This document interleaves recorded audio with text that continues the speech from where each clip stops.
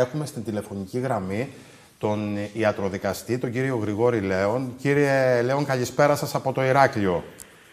Καλησπέρα, καλησπέρα και στους τηλεθατές σας. Σας ευχαριστώ που είστε μαζί.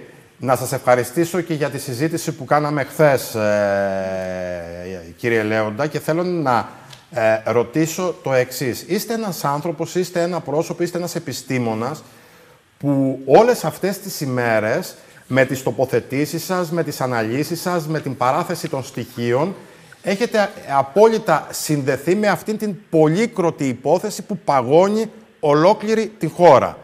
Και θέλω ε, να σας πάω σε μια είδηση επί του πιεστηρίου.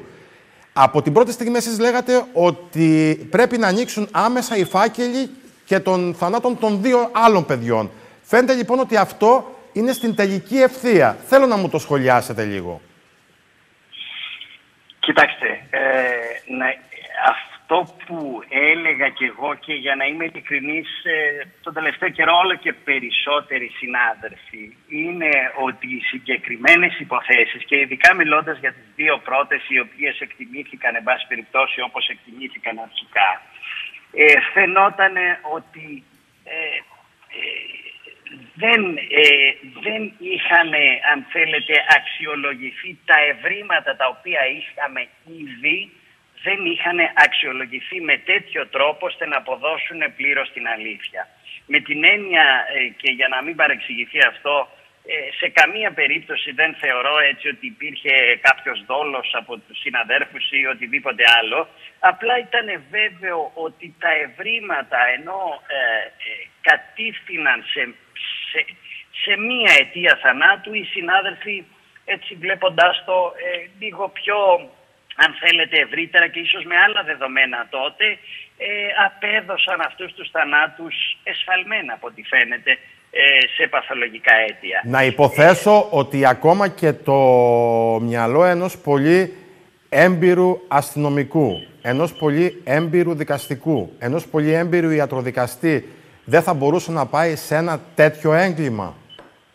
Κοιτάξτε, εκτιμώ ότι και αυτό είναι μια εξήγηση. Σας ξαναλέω ότι εδώ ε, ε, ουσιαστικά ε, ας πάρουμε με τη σειρά τα πράγματα. Στο πρώτο παιδί ε, είχαμε κάποια ευρήματα ε, τα οποία αν θέλετε με δυσκολία θα μπορούσαν με βάση τις τότε συνθήκες να αποδώσουν με βεβαιότητα μια εγκληματική ενέργεια.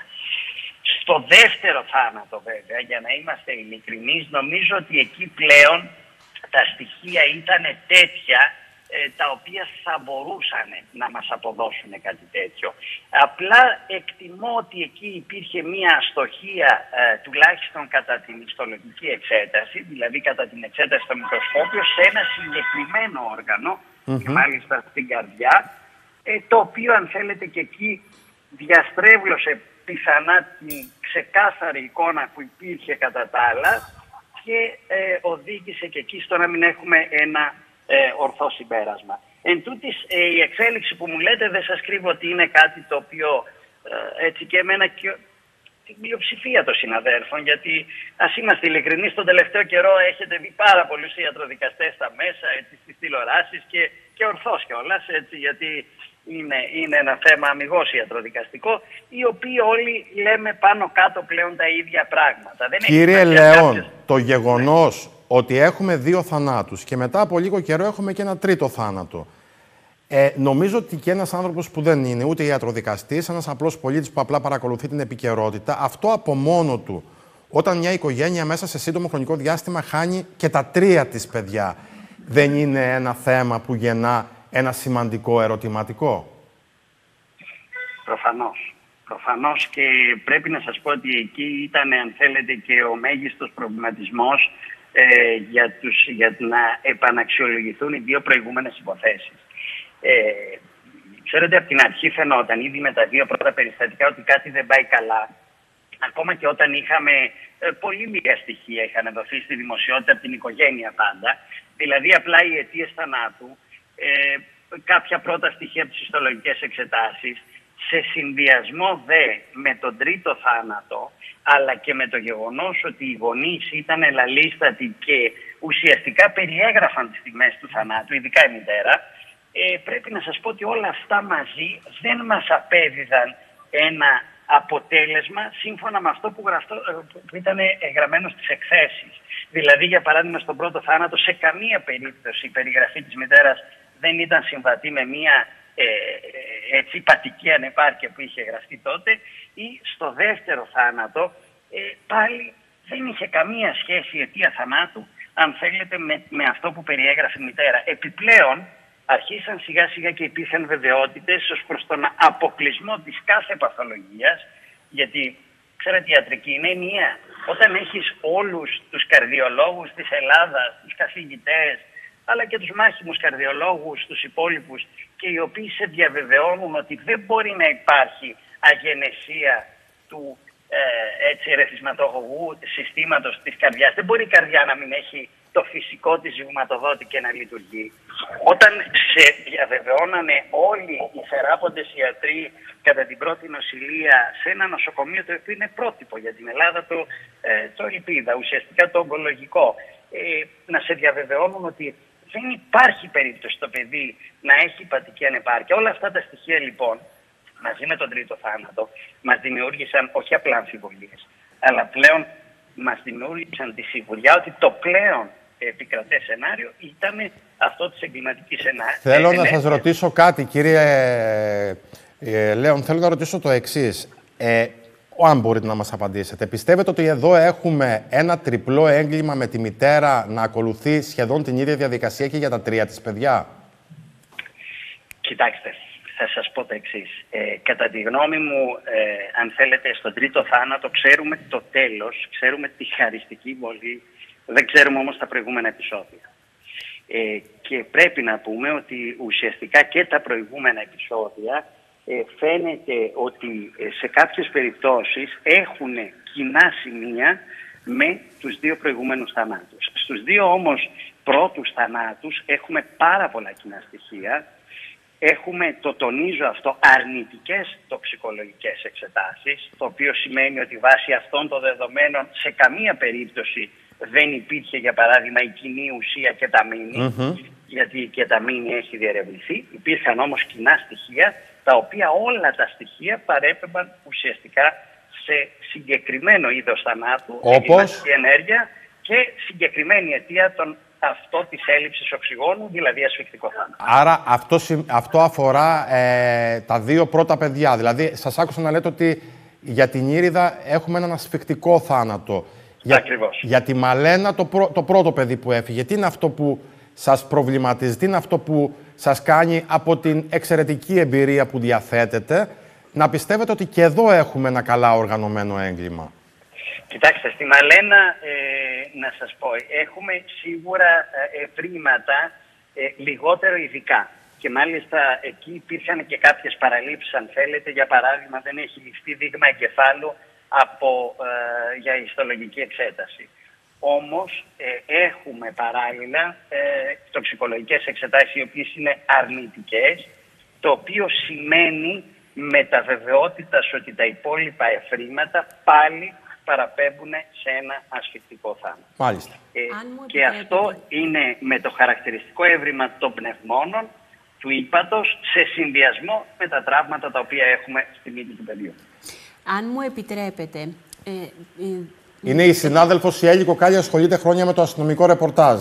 Βεβαίως. Επειδή το διατάφτα αυτής της συζήτησης είναι το αν υπάρχουν, αν λειτουργούν τα ανακλαστικά του συστήματος. Εσείς εντοπίσατε από απλές περιγραφές και από απλές συνεντεύξεις αυτή την ασυνέπεια λόγων πράξεων ευρημάτων και αντιληφθήκατε ότι υπάρχει ένα πολύ σοβαρό πρόβλημα, υπάρχει μια πολύ σοβαρή υπόνοια για πολύ ε, σοβαρές πράξεις, για εγκλήματα.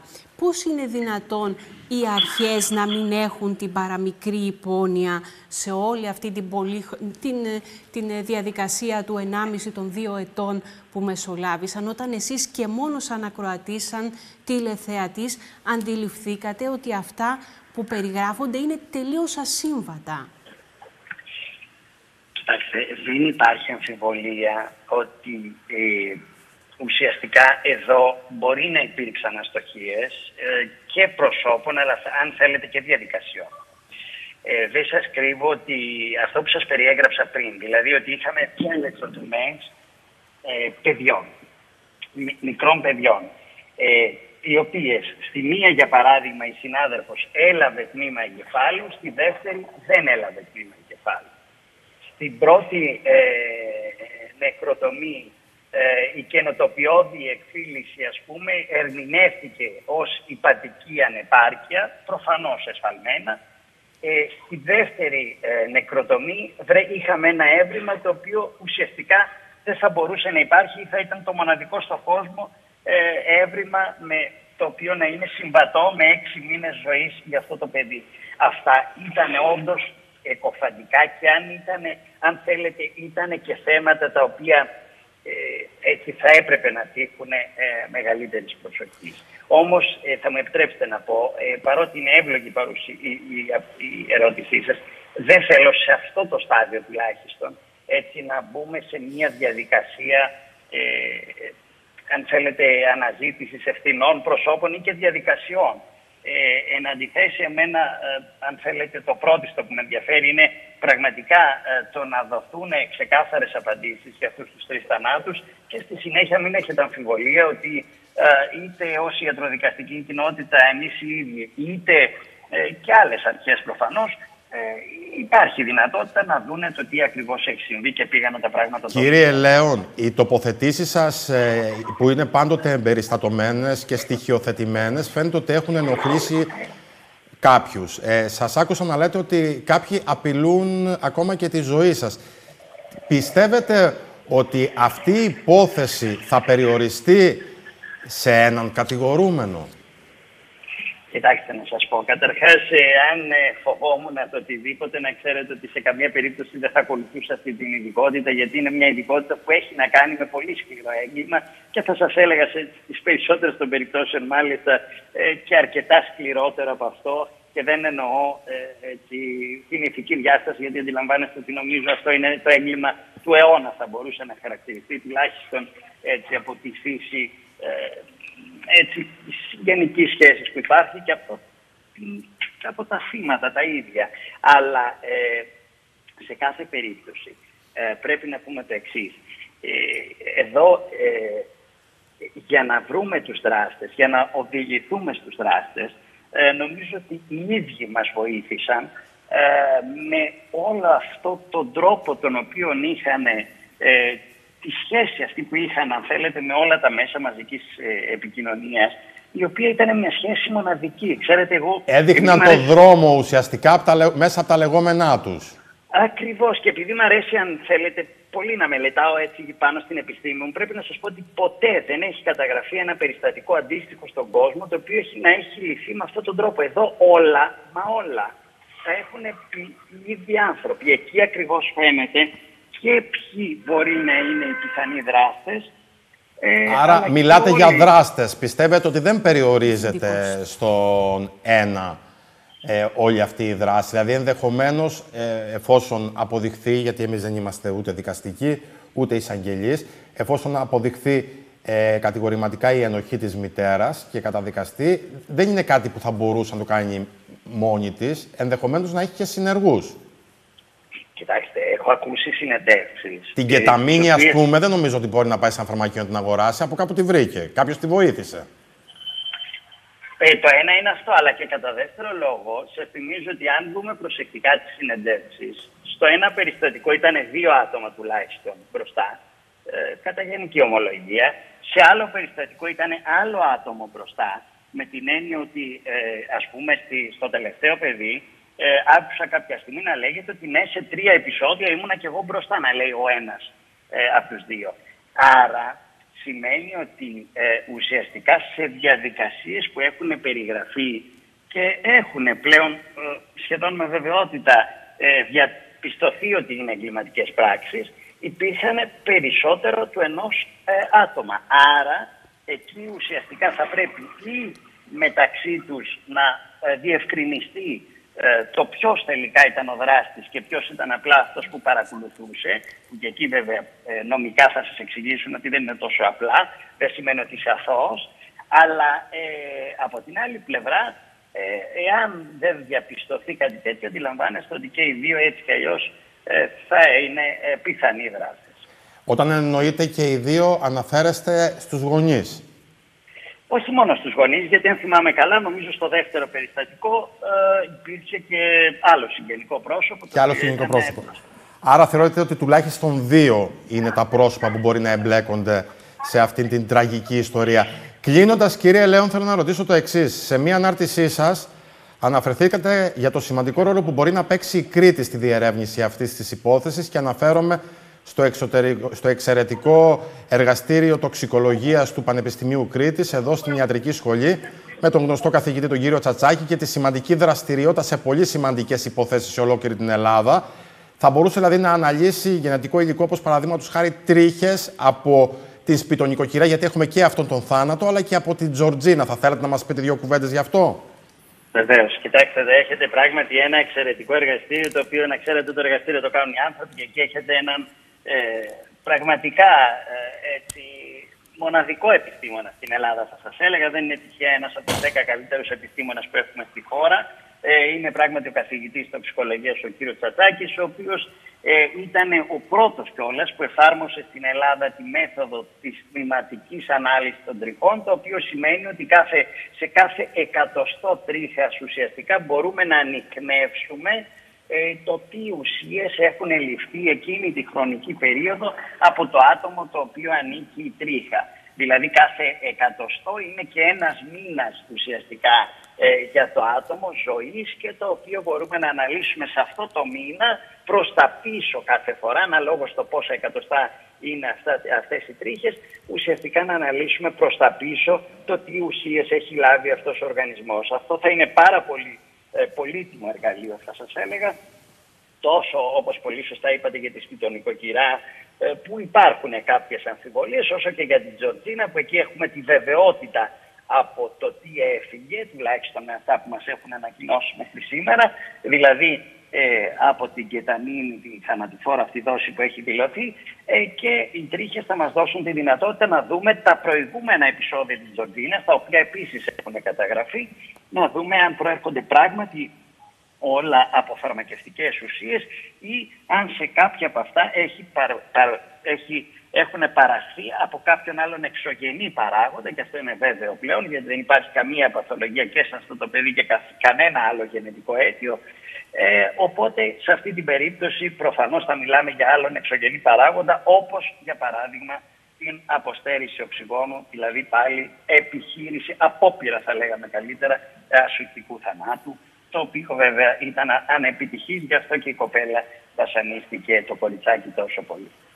Κύριε Λέων, ε, σας ευχαριστώ για τον χρόνο που μας διαθέσατε.